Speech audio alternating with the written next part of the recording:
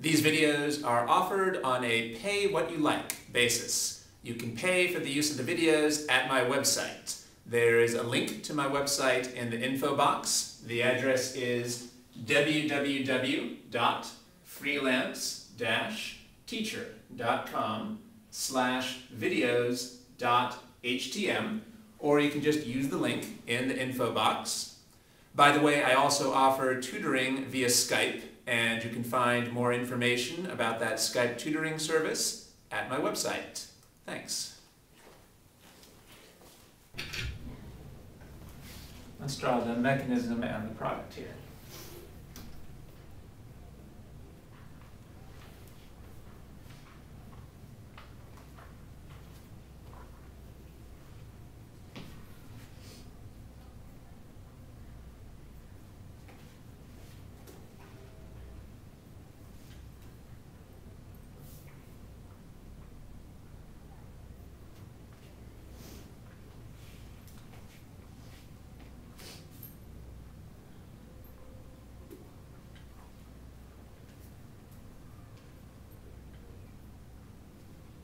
Good.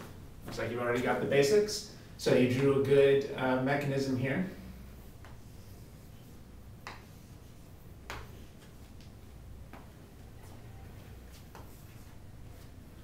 This arrow means, well, now when we were talking about aldehydes and ketones, I recommended using some labels to keep track of the key atoms, asterisks for the carbonyl, carbon, and oxygen, and alpha for the alpha carbon. So I would recommend some labels here as well.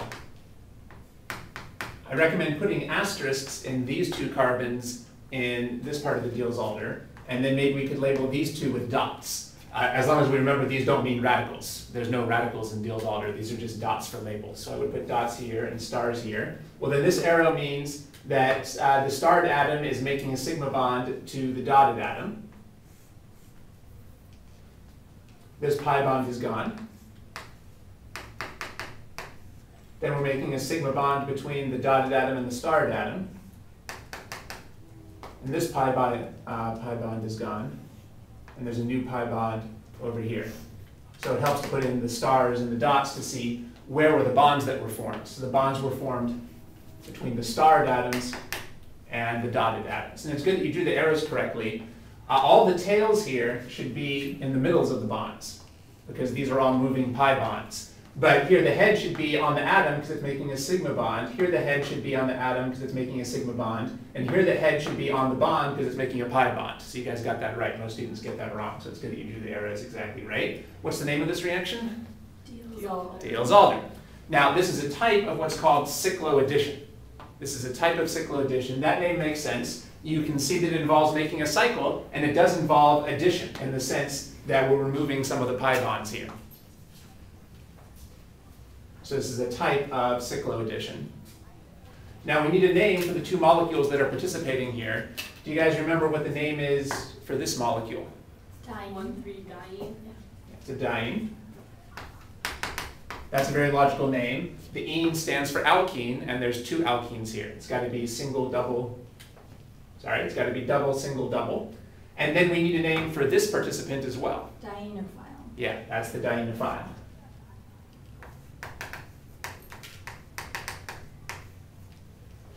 That means diene lover. This is, or liker to be less dramatic. So this molecule over here wants to react with this diene over here. It likes or loves to react with it. Now what's the basic type of product from Diels-Alder? Cyclohexene. So when do you need to use a Diels-Alder reaction in a synthesis? Well, if you're trying to make a cyclohexene ring.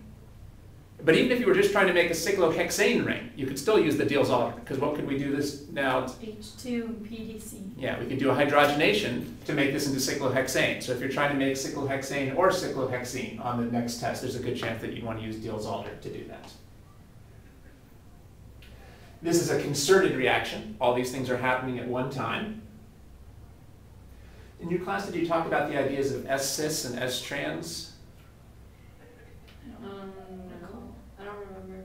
Don't think so? All right, maybe we won't spend too much time on that then. But do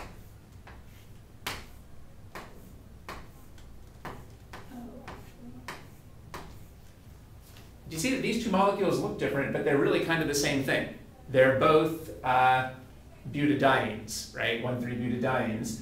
The only difference is that here the double bonds are pointing in opposite directions, and here they're pointing in the same directions.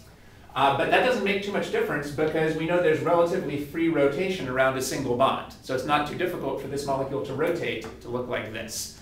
Well, the name for this is S-trans. And the name for this conformation is S-cis. Oh, I think we did talk about this actually. Yeah, it's a pretty standard topic. Although they don't talk about too much in the book, but it's a pretty standard topic for the Diels-Alder. Now we can see why this is called S-trans and S-cis. Now it's not normal trans or normal cis. Here would be a normal trans. And here would be a normal cis. Normal cis and trans is when you have different arrangements around a double bond. But here we have different arrangements of the double bonds around a single bond. That's what the S here stands for. It stands for single bond. S trans stands for single bond trans. So in this case, the double bonds are pointing in opposite directions around the single bond. And in S cis, the double bonds are pointing in the same direction around the single bond. So it's important to be clear that's different from the normal cis and trans we learned about last term. This is different arrangements around a double bond. Now, is it easy for a trans molecule to rotate to form a cis conformation?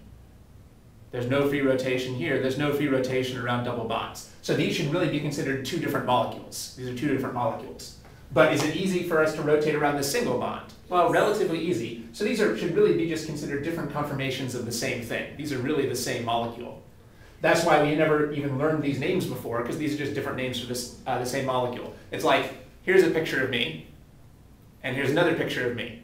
Right, here's one picture where I'm holding my hand up, and here's one picture where I'm holding my hand down, but those, those are still both pictures of me. So uh, it's still the same person in both cases. Well, these are the same molecule in both cases, just holding their hands in different directions. Whereas these really should be considered different molecules.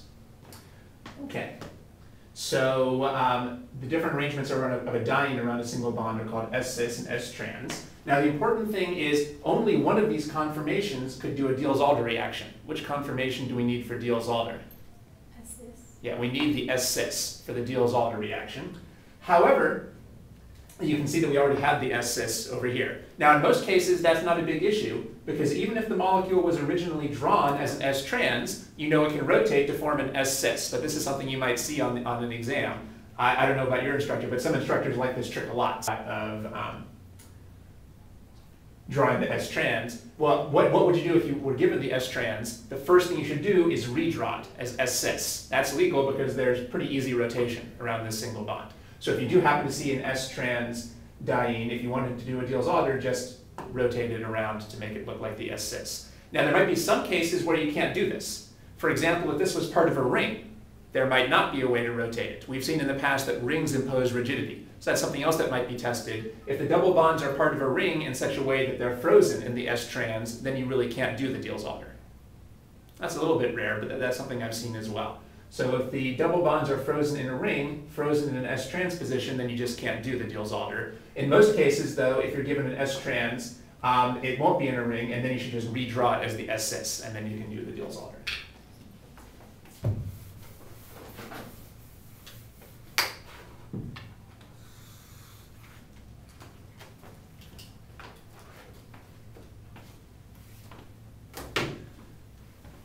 Now, which of these molecules should we think of as the nucleophile, and which should we think of as the electrophile? Diene.